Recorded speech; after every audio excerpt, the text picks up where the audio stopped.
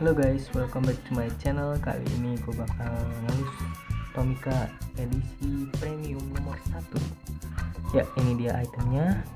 Dan kali ini gue bakal ngelus Nissan Skyline GTR R34 nih guys.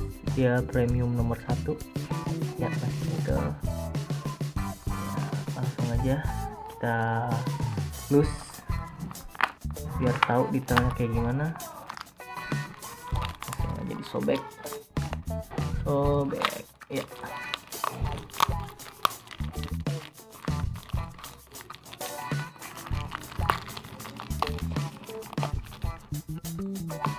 Ini dia guys. Kita buka. Nah ini kemasannya dan Skyline GTR R34 ya berikut detailnya.